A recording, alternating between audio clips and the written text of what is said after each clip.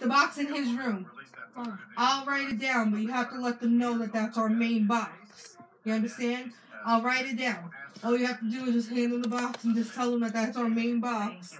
Like that's they'll know because they'll see the box, but let them know that that's our main box.